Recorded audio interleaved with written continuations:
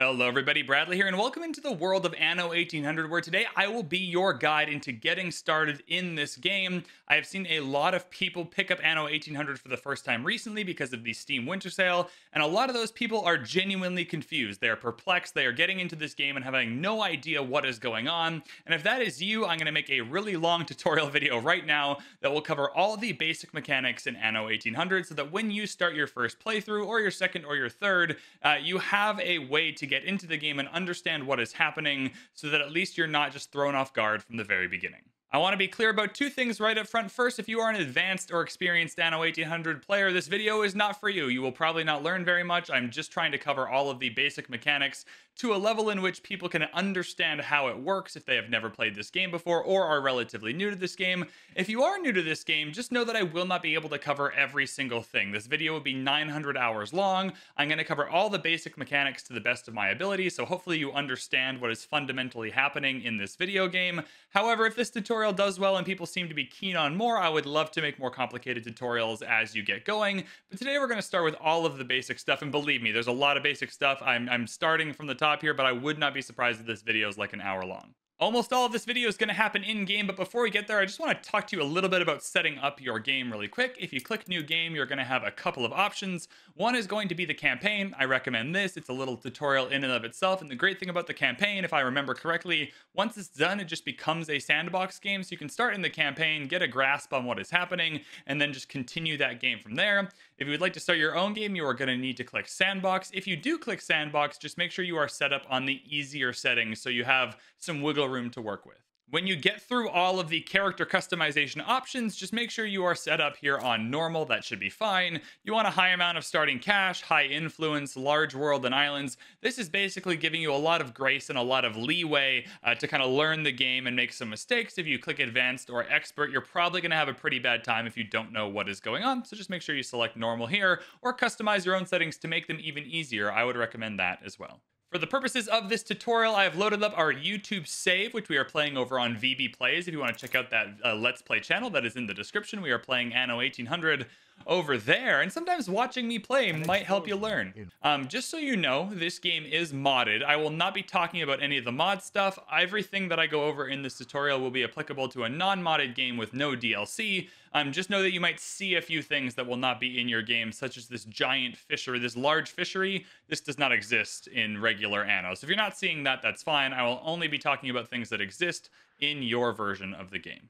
And the first thing that we are going to talk about are your islands. In Anno 1800, by the end of the game, you will be settling multiple islands. You can have big islands here like Crown Falls. This is in the Cape Trelawney uh, DLC here. You can have smaller islands like this one. If we go to where we started our game, we have our main city here of Bracton, which is a fairly reasonable size, um, but you can also settle small islands like this. Um, so obviously the size of your island matters a lot. As you can see, we're going to need a lot of room to build things.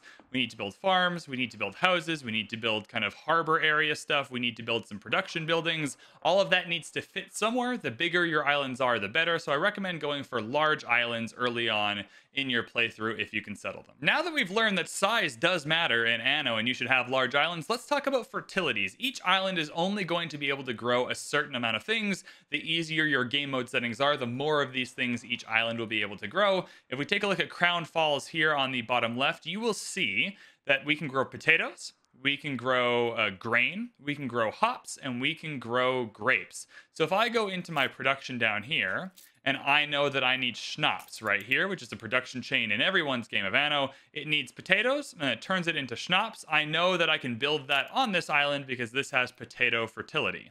If I go to another production chain, say this canned food here, and I need tomatoes here for this, or this red pepper here for this cannery, this red pepper you can see at the bottom is missing fertility, so I cannot build it on this island. While there are other ways of gaining red peppers, which we can talk about in a more complex tutorial, for the purposes of this one, let's say I did want these red peppers to build this cannery here, I would have to go to an island that had a red pepper fertility.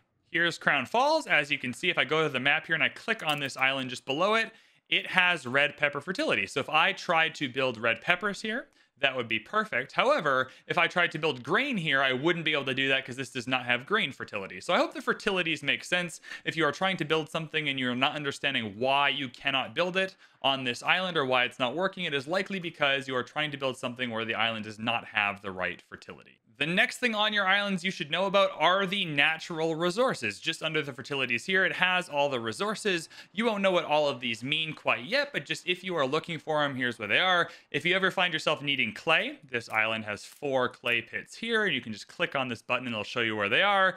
Uh, we have nine iron deposits like that. We have three zinc deposits. We got three limestone deposits. So those are all the resources on this island. If we go to our main island of Bracton, it's not quite as big. Crown Falls is pretty luxurious. You can see here we only have one limestone deposit. It's over here.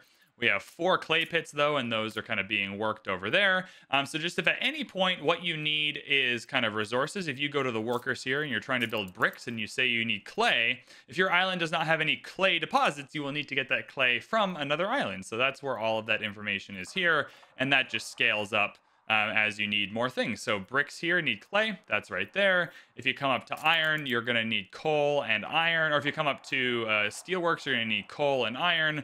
Um, you can see here that this island doesn't have any coal mines, so I'm gonna have to find a different way to get that coal, whether it's from a charcoal kiln, whether I'm bringing it in from another island that does have a coal mine or a coal kind of resource here. So if you're ever looking for kind of raw resources, here is where they are. And the last thing I want to talk about before we start building is the game speed here. Uh, on this tutorial, I will be playing on the slowest speed. You cannot play this game well paused. So if you are overwhelmed and you would like to pause the game, just know that Anno 1800 is meant to be played without pausing. Why that game decision was made, I'm not sure, but that is the truth here. So that's what it is. However, if you want things to happen quickly, you can just increase the game speed. If you want your ships to travel faster, if you want your resources to collect faster, um, you can just increase the game speed here. Let's go and find a ship to look at so that that makes sense. Uh, here we have a ship that's moving. Um, it's moving this fast. If I increase the game speed, it is going to move faster and faster. If I slow down the game speed, it is going to move slower and slower. Now, if you're playing against difficult AI, um, that is going to create a problem because the AI might get farther ahead if your game speed is faster because you can only tackle one thing at a time. However, um, for the purposes of learning, sometimes you just want to accumulate resources really quickly so you can keep building things. And so that is kind of right here at the top. The first thing you need to know about building on your islands is that everything needs to be connected to the harbor via a road. So I'm going to come in here and I'm going to build a little thing here for my first set of houses. So I'm going to come in here and I'm just going to build that road. We are going to need a marketplace really early on. So we're going to build the marketplace. Uh, we're going to need a couple farmers residences. So I'm going to build a couple of farmers residences here. And as you can see, um, we'll speed it up a little bit here. If they're not connected to the harbor via a road, you're going to get this little symbol up top, that this little road symbol, no connection to harbor. All we need to do is connect everything to the harbor here, just like that, and it will remove that symbol. It does not matter how far away the connection is, it just needs to be connected, so this road could go on forever, but every single thing on your um, island here does need to be connected to the harbor via a road. The next thing you should know about your island is that each island has a storage capacity that is, starts at 75 tons per item. Um, you can see at the bottom here, if I click on my harbor at the bottom, um, storage capacity, it says at the bottom, is 235 total. Um, we have upgraded our trading posts. So if you have all the resources, you can keep upgrading your trading posts like this and that will increase the storage. And at the bottom, it tells you what the total number is. So the total number for this island is 335 tons per item. So each of these individual items you can hold up to 335 of. Um, there are many ways to increase the storage. You can do the harbor here. You can build depots, which we'll talk about when we get to the harbor area stuff later. Um, but just know that if you are maxing out on your items and you can't figure out why you can't get more than 75, it's because you have hit your max storage capacity for your island and need to increase it. The next thing we should talk about is money and currency. This game revolves around money. You are going to have an overall balance at the top. That balance is going to be going up or down. Uh, if you look here, it'll tell you whether the balance is going up or down. Right now, we are making 2,534 coins per minute in a positive balance. So if I just let this play for one minute, um, I will gain 2,534 coins, and it will tell you where you are making this money. Our farmers are giving us 1866, our workers 5,751, so on and so forth. We are spending 6,400 in maintenance. We're spending uh, 1,400 in royal taxes.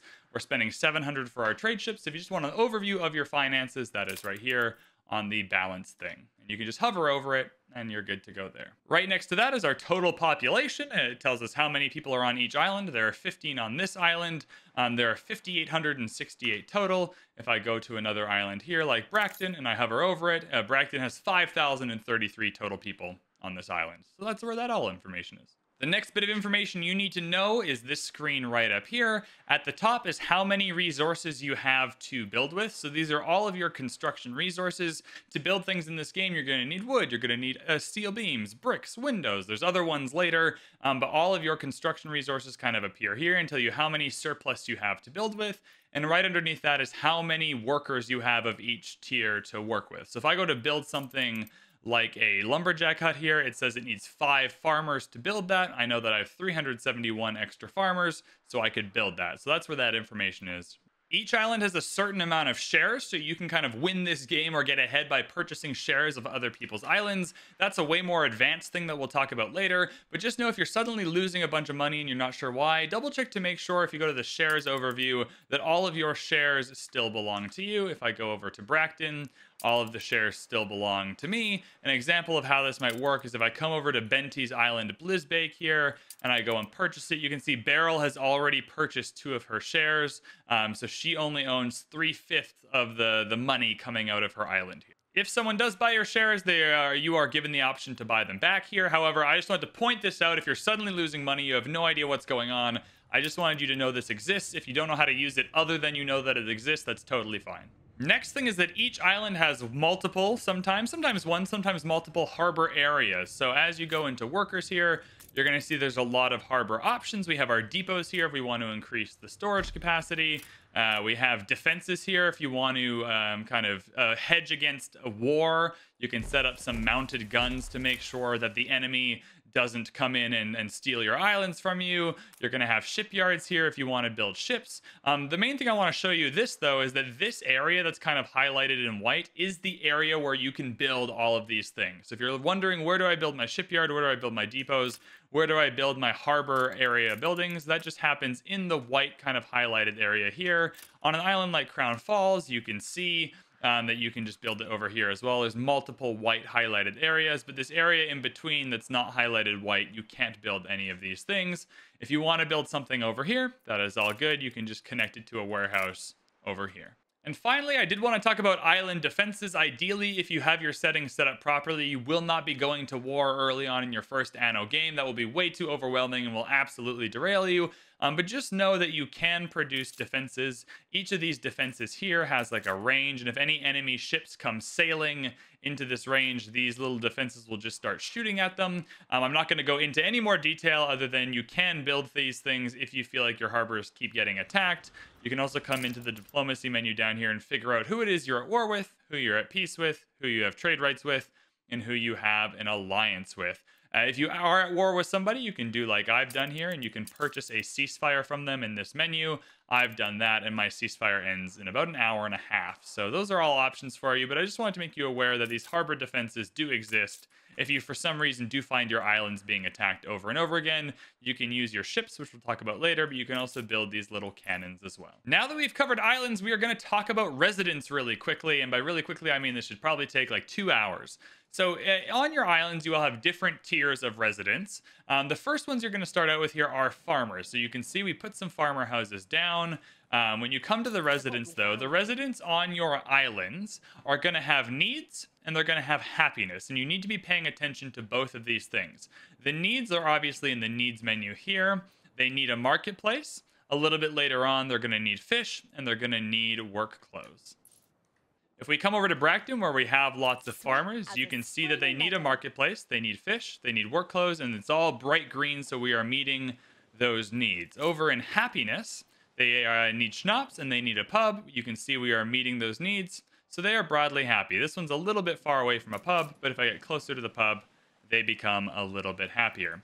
for the needs, these are things you need to do to increase your population. So when you are near the marketplace, um, the supply effects here are plus five farmers. So you will get more farmers per house if they are near a marketplace. You will get more farmers per house if they have fish. And so you get three extra farmers. And you'll get one extra coin um, as well if they have uh, the fish. And then work clothes will give you two extra farmers per house and three additional coins. So just know that you can check here what do your farmers need and what will that give you when those needs are met. All right, happiness is the same way. These are the things they need to be happy. All right, they need schnapps to be happy. The effect is eight happiness and plus three coins. You will not get any additional farmers, but you will get additional money. You will also get additional happiness. Same with the pub. Additional happiness plus 12, additional coins plus one, but no additional farmers. If we go up to our workers here, which is the next tier, um, they have a different set of needs, right? So we won't talk about how complicated this is, other than if I go over to the bread, I'm going to gain... Okay, thanks, Princess Qing. I'm going to see here that they are plus three workers if they have enough bread, and plus five coins if they have enough bread. Now, as you can see here, we have three tiers of residents kind of on our first island here. We have our farmers, we have our workers, and we have our artisans here, okay? And so to upgrade farmers to workers and workers to artisans, you only need to fulfill all of the needs. You do not need to fulfill all of the happiness. To show this to you, uh, what I'm going to do is I'm going to come down to this farmer here. You can see they have all their needs checked off and they have max capacity. So 10 is going to be the max here. They have their marketplace, they have their fish, they have their work clothes. They don't have their pub though. It's not quite done. It's not fully green. These could be fully blank and I could still upgrade my farmer. So if you're trying to upgrade a farmer to a worker and you're not understanding why you can't do that, it's likely because you have not met all of their needs. And so if I come in here and I click my upgrade button and I upgrade this farmer house, you can see that I was able to do that even though they did not have their pub need met. And now I have a worker house. Same with the workers here. I can go to this worker. This worker has all of its needs met, but not all of its happiness. It doesn't have a church anywhere nearby. Zero for uh, the church here. However, if I click my upgrade button, I can upgrade this house to an artisan because I have met all of its needs which are right here. And finally, as you upgrade, there's one more thing you should know, that the needs and happiness kind of change over time, right? So if I come down to my farmers, they need fish and work clothes. When I go to my workers, they still need fish, they still need work clothes, and now they need a whole bunch of other things when I go up to my artisans, they no longer need fish and work clothes. So it's not an ever expanding list that just builds on top of each other. Eventually, the higher tiers you get, you will shed some of the needs from the lower tiers. So just keep that in mind here is that you're not going to need to provide fish to everybody, just the farmers and the workers. Um, whereas these farmers here aren't going to require the bread like the workers do. So just keep keep in mind that as you upgrade these tiers, they will shed some of their needs and add new ones. Also, upgrading costs resources, so if you've met all the needs and you can't upgrade, you can see here if I want to upgrade this worker to a artisan, I need six wood, two bricks, and two steel. So if you don't have that in your available resources up here, you will not be able to upgrade, even if you've met all the needs. Now it's time to talk about production and production chains. How are you going to go about meeting the needs of your people here? Where the first thing we're going to need to do is kind of set up our first production chain. So this game works in production chains. You're going to need to know them all. You're going to need to remember them. And if you can't remember them, I'm going to show you how to work around that. So each need here has a production chain. The first thing we are going to need is timber to build a lot of the buildings for our production chains. But since timber itself is a production chain, I can kind of show you how this works here. So if I click on timber, which is what I want to build, you can see that it's going to take the lumberjack's hut here and it's going to turn it into timber. So this is telling you in which direction the chain is going. It's going to start on the left and move towards the right. This is a very fairly simple production chain. One item is turning into one other item. However, if you go up to artisans even, um, you can see there are more complicated production chains where it's like these two items are going into this one, and then these two items are going into this one, but it's all kind of happening separately. So the chains do get more complicated as you go, but they all follow the same basic rules, which we're going to cover right now. So we know we want to build timber, and we know that it's going to be a production chain. So let's start on the left. We are going to need a lumberjack hut. Let's talk about the information it's giving us. Each lumberjack hut is going to give us wood every 15 seconds. So we're going to get one ton of wood every 15 seconds, okay? Um, on the island, we have zero. We have zero lumberjack huts. It is going to cost 10 coins. That is per minute. So every lumberjack hut we build is 10 coins per minute. That will be added to the maintenance fee there. It says maintenance minus 6,400.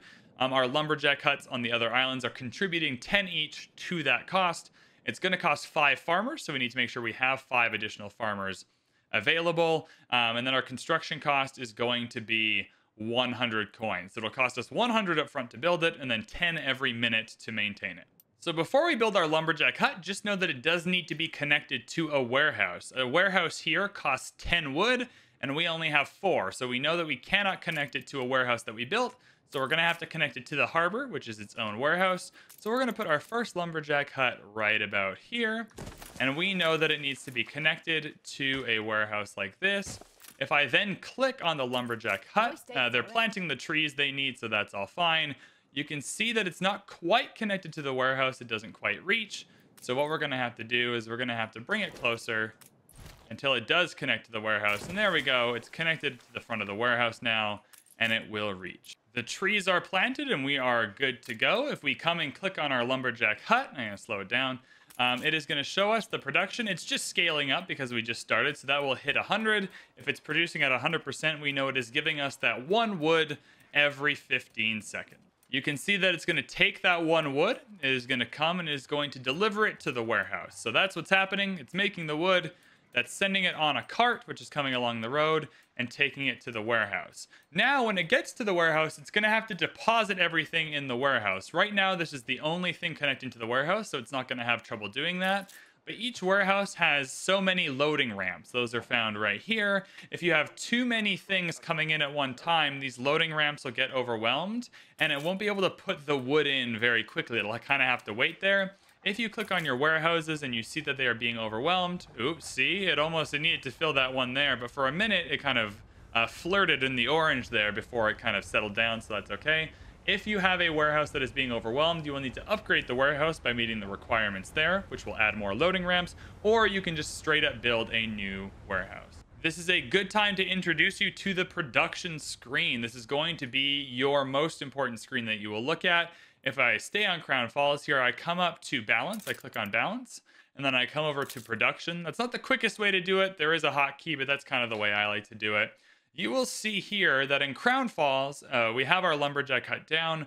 We are producing four wood every minute. So on the statistics screen here, everything is done per minute. So one wood every 15 seconds is four wood per minute. This green bar here is how much we are making, and this bar up top, which will be blue, is how much we are using. So right now on our timber production chain, we are making the wood, but we don't have a sawmill. So I'm going to illustrate a point here. If I put this sawmill near the lumberjack hut, sometimes it'll be quicker and it will just kind of drop the wood off on the way and kind of skip the warehouse part for now. You can do this with a lot of things.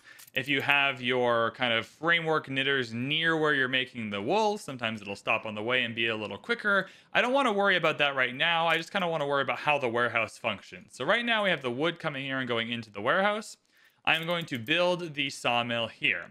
So this uh, lumberjack hut here makes one wood every 15 seconds.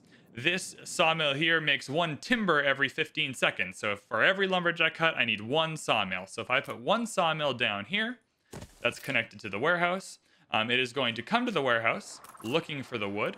It is going to load it up. Let's speed that up a little bit.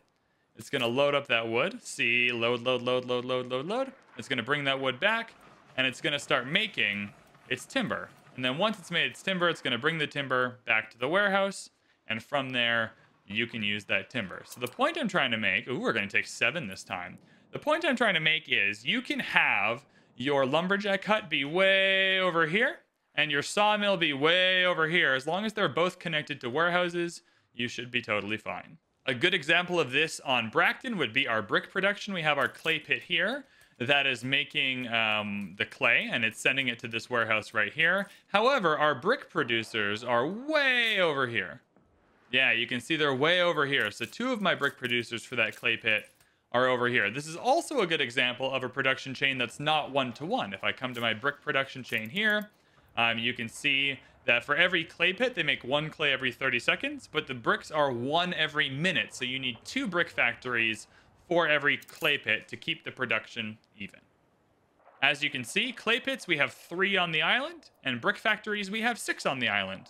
Back in Crown Falls, we're going to go back to our production screen here, As you can see, now this blue bar is full. Before it was just green with no blue, so now we are making four lumberjack huts, and we are using four lumberjack huts, right? So we're making four wood every minute, we are using four wood every minute. If I were to build another sawmill right here, and not another lumberjack hut, and go back to this screen, it would invert. You could see now that we are making four every minute, and we have eight needed every minute. So you always want the green bar to be above the blue bar. That tells you that you are making more than you need. Right now, as you can see, we are making uh, less than what we need.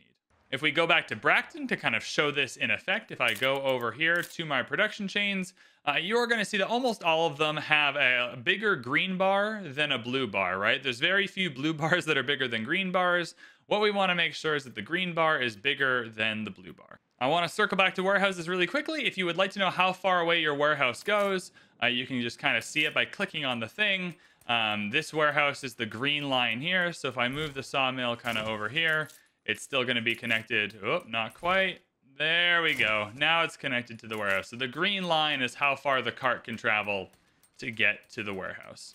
And finally, if you would like to produce something really quickly, or you just need a little bit more of something, but you don't want to build a whole nother production chain, say you want a little more wood, but you don't want to build another lumberjack hut or another sawmill, um, what you can do is you can come here, uh, you can click on the lumberjack hut, and you can come to adjust working conditions, and you can adjust the working conditions up to 50%. And it will do that for all of the, the buildings on the island. So every single lumberjack hut on the island, right now there's only one, but if I had two, I had three, I had four, it would adjust that for every single one. So if I want to adjust this to plus 50% and change that, right? And then I wanted to adjust the sawmill to plus 50%, you will see that I have now upgraded my production. I have more wood coming in, but I haven't actually built anything else. You might wonder, that sounds a little bit too good to be true. What is the cost?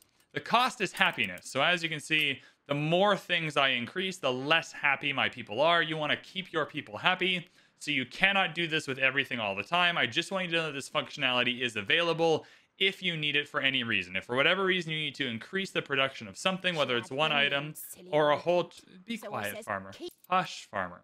Anyways, if you want to increase the production but not build anything new for the cost of happiness, you can do that here. Um, so let's increase that. We'll change that there. And then if we come into our production again, you will see that they now say six instead of four because we increased it by 50%. Where that screen comes in handiest when you are learning how to play this game is if you have multiple items that are needed in multiple production chains. So if we have bread here, we need wheat for the um, we need wheat for uh, the bread production chain. So we're making a bunch of bread. We need wheat for that. Uh, we're making a bunch of beer. We need wheat for that. We have a bunch of silos on our farms over here. Um, so we need a bunch of wheat for that. I can't keep track of how much wheat we need for all of that. So what's good is that I can just come in here and if I don't remember, like how much wheat do we need? This screen tells me how much wheat we need. So we need uh, seven. I'm making 15. I have way more than enough wheat. If I want to build another flour mill, uh, I can just build another flour mill. I can build two of them and it's fine because I have enough wheat and I don't need to keep track exactly of the math because this screen just keep tracks of it, keeps track of it for me. So you, when you are dealing with more complicated production chains or you just get later in the game and you are building multiple things for multiple reasons, this screen is just going to tell you if you're making what you need for what you're trying to make. The next thing I want to talk about is ships. During this game, you will have hundreds of ships. Maybe not hundreds, but you'll have a lot of ships. And I want to talk to you about how to make them and how they work. So early on to make ships, you are going to need a shipyard. You can find that at the worker stage here. You're going to come to your small harbor. Uh, you are going to find the sailing shipyard here. I have a modded shipyard, but I'll build the normal one just so you can see what that's like. We're going to put it down there. Wonderful. We now have our selection of ships that we can build. So these ones have sails. Later, they'll have engines and steam and all the rest. But here's your kind of early introduction to ships. If you hover over the ships that you want to build, it has a bunch of information. How much influence is it going to cost? How much time is it going to take to make? The cost of construction, wood, sails, that type of stuff. It's also going to have uh, information at the top, cargo slots, item slots, loading speed. We're going to talk about all of that in a minute. But to build a ship, you're just going to come in, you're going to make sure you meet the requirements. So this one here needs sails and weapons and wood. So when you have all the requirements, what you're just going to click the ship and it's going to start making the ship and it'll kind of, if I speed it up really fast, this yellow bar is going to get bigger as it makes the ship. It is only going to use the uh, people it needs while you're building the ship. So when we're done building the ship, is going to return the workers back because when the workers are not building a ship, they go back into the pool. So you're going to need a surplus of workers or whoever is building these ships to make sure they are getting built. I can click the ship multiple times. If I want to build a queue here, that is all good. It will just keep building these ships. Early on, you are going to need wool to uh, make the sails for these ships. So it's just a one-to-one -one production chain here. However, I just want to show you how this works. If you put a sheep farm down or a pig farm or really any animal farm, um, it's not going to work right away. You're going to have to click the animal farm and you're going to have to put its pastures down. So you're going to put the pastures down anywhere in this green area. Uh, the newspaper's fine. And then once that's done, it's going to start working and that's great. This is also a good time to show off blueprint mode. If you would like to plan out your island without actually committing the resources, just click the V key and that will build in blueprint mode. So I'm going to put that down there. I'm going to click it. I'm going to put the uh, modules where I'd like them. Just like that. That's fine. Okay. However, uh, you can see that it's not built yet. So if I want to build it, I'm going to click upgrade. And then I'm going to upgrade the, the sheep farm and then the modules. And that's perfect. This comes in really handy if we come back over to this island. Um, we don't have enough resources yet to build everything, right? And so, oh, we're still on massive speed. So if I want to plan my uh, island here, I can just click on the farmer's residences and I want to, okay, I want to build these ones here and these ones here. And then I want to kind of build a road around that. And then I want to use the copy function and I want to copy that kind of set of houses and I want uh, to put a couple more down. It's nice to be able to build this without having to commit to it. And then as I feel kind of ready to upgrade these houses, I can just click the upgrade button and upgrade two or four at a time. But kind of helps me keep everything in sync here. You can do this with your production chains as well. Um, if I want to start a schnapps production chain, I can build the potato farm here and just kind of plan that out. Yep, that's where I want to build the potato farm. That's perfect. So that's all the modules there. And then this is where I want to build my schnapps factory. That's there. That feels good. And then it's going to need a warehouse. So I'm going to put a warehouse here. That's fine. And once I have everything set up, I'm going to be able to come in. I'm going to be able to upgrade the warehouse, upgrade the potato farm, and then upgrade the schnapps. And that will all start working. So that is the V key, and that is blueprint mode. And hopefully that just showed you how to build warehouses and schnapps and potatoes and all the rest. If you want to get rid of anything, you can just use the demolish key here and just demolish all the stuff you built. Bye. Uh, that way you can replace it with something else.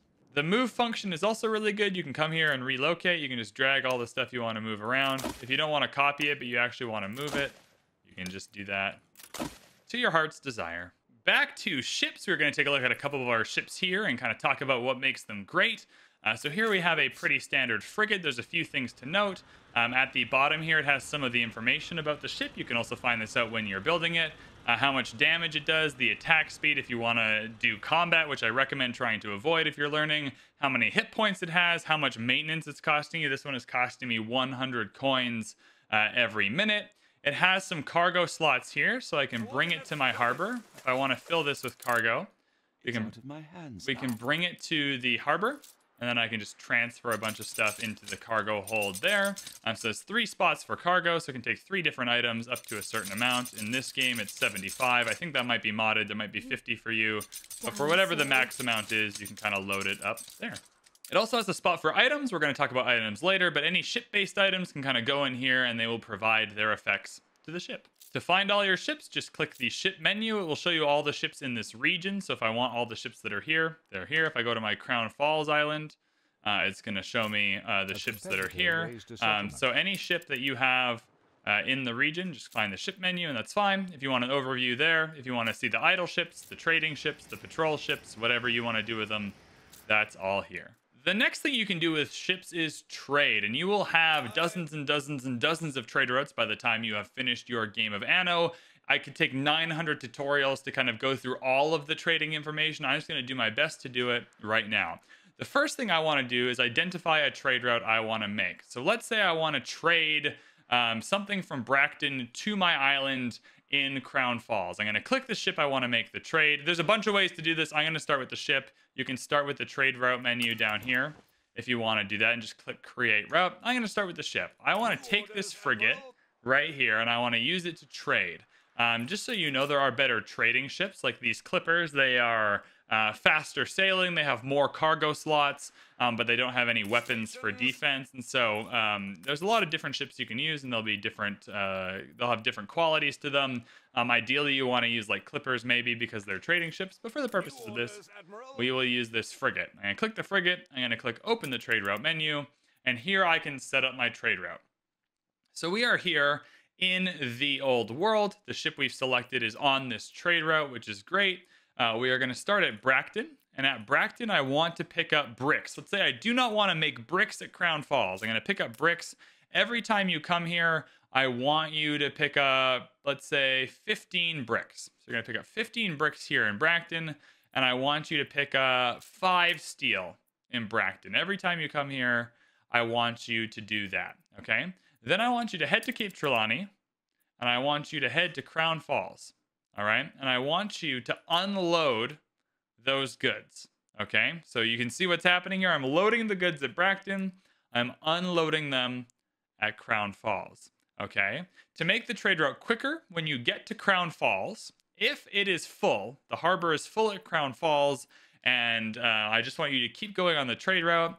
I would like you to discard the cargo. So if there are, it's already full, you get there, there's no more room for bricks or steel, you're just going to chuck it in the ocean and keep on going. Alternatively, at Bracton, um, you can have it wait uh, for goods, right? So if I want this to wait, always wait until there are 15 bricks and 5 steel. Um, do not leave without this amount. You can click this. If you don't click this and it comes and there's less, it will just take less. But these are some of the options here. You can have it wait for the goods. You can have it discard the cargo. Uh, you can have it wait to unload. There's a bunch of different things going on here that you can kind of play around with. Let's say I wanted to really make this tricky. I want you to come to Bracton.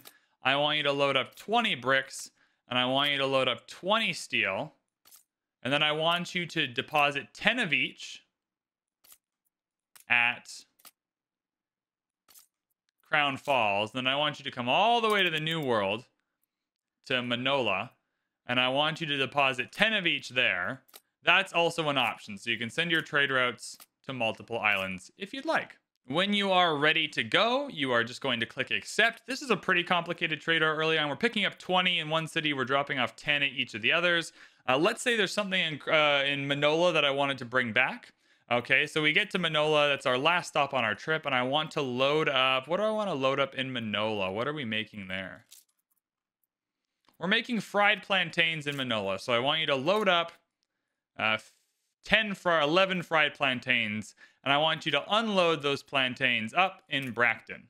Does that make sense to everybody? Does everyone understand how that's working when we're loading and unloading and how this trade route screen works? Uh, once that's done, we're going to name the route. We're going to go construction materials to islands. That's what I'm going to call that. I'm going to assign it a group, which is great. I'll click accept. What's the problem? No, it's all good. Everything's fine. And so I'm going to come here. I'm going to create a new group No, that's not what I wanted. Sorry. I'm going to rename the group that we created. And that's just going to say this one's starting here. These are for routes that start in the old world and go to Cape Trelawney and go to the new world. So it kind of just tells you in which order the trade routes are going so that I know what is going on with my trade routes. If you want to see how quickly your trade routes are functioning so you can choose uh, how much to put on each trade route, you can do that in your island screen. So if we come up to our island here, um, and I click just, I guess the balance is fine. When I go over to storage, it has your trade routes here. So I have this trade route here. It is uh, taking soap to Eli and bringing back iron and coal. You can see that this trade route is executing every three to four minutes. Now, how often your trade routes execute basis is based on a couple of things. How uh, how fast are your boats? How fast can your boats travel? Do they have to wait to load or unload? If there's no room at your harbor, and the boat has to wait, that route will take longer. This is really important for figuring out the math of your trade routes. For instance, that's what we've done here. So if I come to my island and I click storage here, you can see that I'm taking five soap every time I'm on this trade route. Now you might wonder, uh, how have I come to the number five, right? Well, this is a very short trade route. It's executing every three to four minutes, right? So it's coming from here, going to there. It is picking up soap, and selling that and then buying coal and iron. You can see that I have it at 100. It was buying about 12 because this trade route is too quick for that, but that's fine. I just have it to buy as much as it can, which is always going to be less than 100, but that's fine. How did we decide on 5 soap? Well, we know it takes 3 to 4 minutes to execute this trade route. And if I come to my production here, um, our extra soap is 2 extra soap per minute. So if it takes 3 minutes to do the trade route, and there's 2 extra soap per minute, right? That's six soap every time that's available. And then I just want to make sure we have a little bit extra on either end. And so that's how we came to the number five. Every single time we will always be able to do five. If we do six, seven, eight, or nine, um, we might run out of soap on the main island depending on the wind speed, uh, whether the boats are waiting, that kind of thing. If you want to make sure you always have a surplus of items available on your island, um, let's say I mess up the soap trade route and I'm going to run out of soap, I can come to this island, I can click soap, and I can set a minimum stock. So I've set it at 10, but let's say I set my minimum stock to 25. Uh, the trade route will not take any soap if the number is below 25. That way you can make sure your residents always have some. If you've messed up the trade route in some way, you'll have time to come back and fix it before they run out of soap. The next thing I want to talk about quickly is influence. In the top uh, left here, you have your influence screen, which we have not looked at yet. Influence is a currency. Right now we have four of it. We had 385 influence. You can see how you're getting it. You gain this by increasing your population. You can see my population is 5,592 out of 6,000. When we get to 6,000, we will gain another 20 influence. You will need influence for a variety of things. If I come and try and settle this island here, so we have everything we need to settle the island. We have the wood, we have the steel, we have the money. That's all in this ship here. That's how you settle another island. But when we go to click settle island, uh, it's not giving us the option because I can't build the trading post. I don't have eight influence. I only have four. So I need eight influence to settle a new island. So every time you settle a new island, it will cost influence. When you build harbor defenses, it will cost influence. Uh, if you build boats, it'll cost influence. You can see what you're spending your influence on up here. So we've spent 379 of it buying new islands. We spent a little bit of it on trade. Um, once you start spending your influence on these types of things, you can see what the effects are here. For expansion, um, we already have World Leader, which is giving us 200 extra island workforce.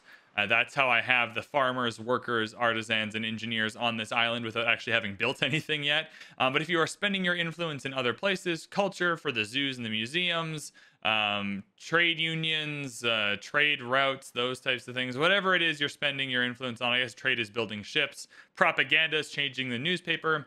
Uh, you will gain bonuses based on your influence spend. Next, I briefly want to cover expeditions. Um, so expeditions are how you are going to unlock new playable areas. Uh, right now, we have the Land of Lions DLC enabled that is found via expedition. So this expedition up top here is going to give us a new area. These expeditions here are going to give us items. And so if we want to get to the Land of Lions, it is a one-star difficulty expedition. Um, from there, it'll give me all the information I need. The reward, a brand new region. So let's say I want to send this boat on the expedition. So we have freedom. It's a frigate. I want to send it on the expedition. You want to make sure it either has the items you want kind of preset in there, or it's near a harbor that has those items because it will take from the harbor that is near. So Freedom the frigate is the one we want to send. We're going to come to this expedition. We're going to assign a ship. It'll be Freedom the frigate here. At the top are the things you are going to need for your expedition. So the harder the expedition, the more of these things you're going to need. Uh, the easier expedition, uh, the less you're going to need, or you won't really need them at all. And ideally, you want to prepare your ship to get to 100% so that it's ready to go. The first thing we need is rations. So I'm going to come over here to my goods and my items, and I'm going to click rations and see what's available. We have lots of schnapps. Um, so I'm just going to take schnapps. This also gives us a boost in medicine. Now you can see that we don't need medicine, but it's still pretty handy dandy. I'm just going to put a bunch of schnapps in there. Now our ship prep is at 77. All right, the ship's doing the navigating. Uh, the rations are covered by the schnapps. Next, diplomacy. What do we have for diplomacy? Beer is diplo diplomacy. We'll put in like 50 or 60 beer. Now we're already at 100 without the faith, right? So we can send it before we're at 100, but we want to make sure we're at 100. Then faith, what do you got for faith? It's bread, but I don't have any bread that will give us faith. That is all good. Okay, I can send this naval architect that has crafting and navigation. So that's fine there. We could do that if we wanted to. I could send this baker that has 10 crafting. I could do that. If I have any ship-based items, they will go in the item slots here. Um, but that's fine. When I'm ready to go, I'm going to send my expedition and it's going to do its thing. And when it's done, uh, we're going to be at the Land of Lions. All right, so if you thought your expeditions were one click and you're done, you'd be wrong. Every once in a while, your admiral is going to come and yell at you. You can either click the button here when it comes up, or if you miss it, you can just come into your expeditions and you'll come in here. It's going to give you a blurb about what's happening. I guess for this uh, for this uh, expedition here, we can choose whether we want to go to Elispo or go to Al Suk. I guess we'll go to Al Suk. That's fine. Uh, we've been palm flanked or whatever. You can read this. It's going to tell you a bit of a story. It tells you what your options are, what your success chance is going to be. Um, and then you can just click through it, click the ones you like, and then it's going to have some games for you to play. I'm going to refuse it, whatever. Play the games, whatever you're going to do. Uh, click the. Oh my goodness. Yeah, no, we're just going to click through this. That's fine. Oh no! I've lost 24 of my schnapps and my beer. That's okay. We're going to keep soldiering on. We're going to continue our journey. And we're going to go to the Crocodile Delta. So just know that your expeditions are not done until you come to this screen a bunch of times and actually completed them. And if you're wondering why your expedition's not complete, it's because you haven't come here and done all the cool little bits and bobs. It'll have a big exclamation point if you need to take a look at it. Once you've gained new regions, though, they are pretty cool. This is the region we started in here. This is our main island. Uh, we have discovered the New World, which is after you get to workers or artisans, sorry. After you get to artisans, you can come and discover the New World. So we have a bunch of islands here. Uh, they have different populations with different needs and different things we can build. And you'll see that we'll need to trade things between. Um, you can see here on your trade routes, we've been trading things to Eli up in the yeah in the old world here. We are trading things to Eli back and forth. But you can trade things to your own islands. If you need wheat on this island, right? But you don't have wheat fertility, so you got to build it on this island. You can just trade back and forth between your own islands. Uh, you can also trade between different sessions, which we've already talked about. And so here, um, in the new world is where you make rum. We make rum in the new world. You cannot make rum in the old world. So in the old world here, when these folks need rum, happiness, uh, if we click on rum here, we are going to need to build it in the new world and ship it up to the old world. If I try and get sneaky and try to build rum here in Bracton, it is going to say constructible only in the new world, so I have to build some ships and get some trade routes to bring the rum up to the old world. I have these assigned to hotkeys, which I recommend you do, is just come in and make sure that you can quickly uh, pal between them just with like, I have QWE on my keyboard. Uh, if you want to press the space button though, that'll take you into the world view. Um, when your ships are traveling, they will kind of travel through this middle area here. So this is part of the travel time of the ships between regions. Um, better ships later on in the game with better items will be able to travel faster between the regions, so that's fine. Um, but the new world is right here. The old world is right here. Cape Trelawney is right here. So if I want to visit one, I just click the one I want to visit. Again, you can see how much longer this takes. I recommend just finding hotkeys. But you can do it this way if you sure would like to do it this way. And the last thing I want to talk about is trading with NPCs or uh, using items, or both. So right now we're going to take the ship Lalibela, our flagship. I am going to uh, I'm going to start a trade here at Eli. So we're going to come over here to Eli and we're going to start a trade. Actually, first, I'm just going to do this whole thing. We're going to speed this up to three. I'm going to do this whole thing in real time. I'm going to come to my harbor with my ship. I'm going to load up on soap. I know Eli loves soap. I've got a bunch of soap, so we're going to do that and then we are going to sail the ship to Eli. So you can see the ship speed is affected by the wind, how far we have to go, that type of thing. If this were on a trade route too, it's also affected by how long it takes to load and unload. Um, different harbor items, different ship items can increase or decrease that loading speed, which is fine. While the ship is moving, if you do at any point need to uh, build more piers, your ships are having trouble loading, you just come into your harbor building, uh, you can construct a new pier here. Provides additional space for ships to load and unload goods. When you have all the requirements, plop that down. And then you have more piers, and now your ships can trade at two different places to help speed things along. So I just wanted to show you that in case you're wondering. Uh, we're going to jump back to our ship with the soap. And it's just cruising straight over to Eli. Vroom, vroom. We'll get there. This is as fast as I can go. Oop, our expedition is requiring our attention again. We've already showed you how that works, though, so I'm not going to show that again. Um, we're going to trade goods here. We're going to slow it down again. I know that Eli likes to buy soap for 384, so we're just going to take our extra soap here. Bajinga, 38,400 gold. Um, and then here he sells uh, coal and iron and all this type of stuff. Items are things he also sells. So here's how the items work. The items go into different places. We'll talk about those places later. Um, but you can see here, this is equipped in a town hall. This is equipped in a town hall. These are probably all, no, this is equipped in a trade union. Uh, this is equipped in a trade union. So it's say equipped in blank and you got to put it in that thing. It'll tell you the effects. It affects weapon factories.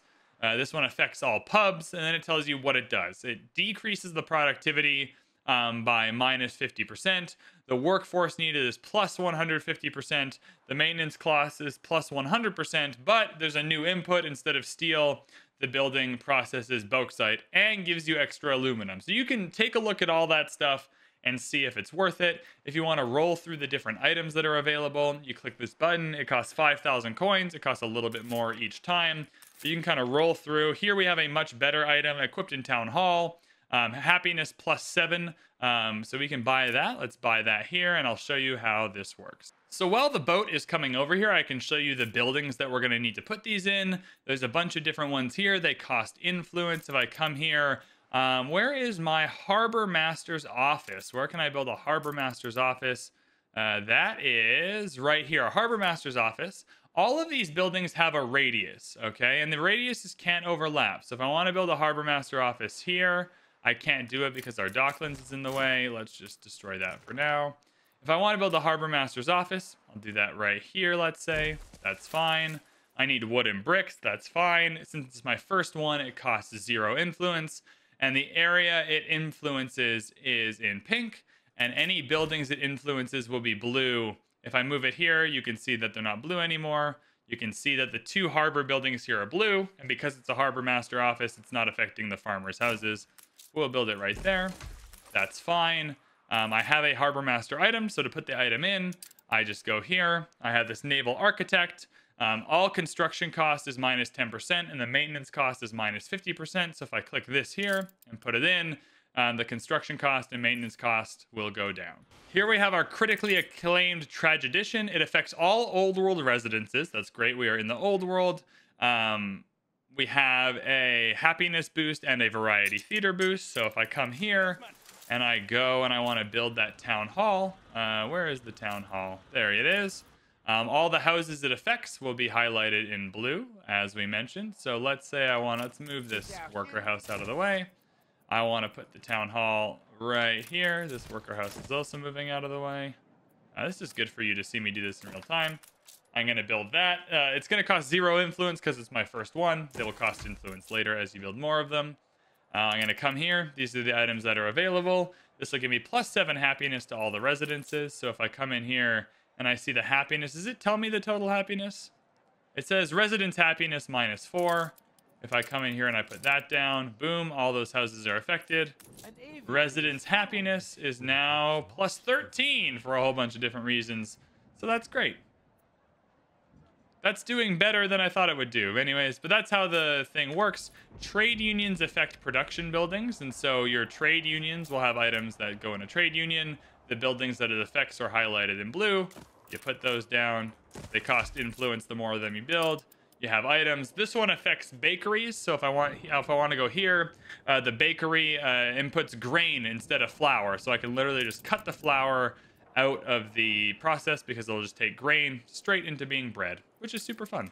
That's how items work, and that is going to be the end of this tutorial. The two things I didn't really cover in this episode that I really wanted to were quests and diplomacy, but they're just going to have to go into another video because this video is already almost an hour and 10 minutes long. If you are new to Anno, I hope that video was super helpful for you. If you enjoyed it, like button, subscribe button is all there. We are playing this save of Anno 1800 over on VB Plays, our Let's Play channel check that out in the description below. Let me know in the description below as well, or the comments below, if you have any feedback for any new Anno tutorials. I'd love to make more of these. Uh, thank you so much for watching. I hope that was helpful for you, and I'll see you in the next one.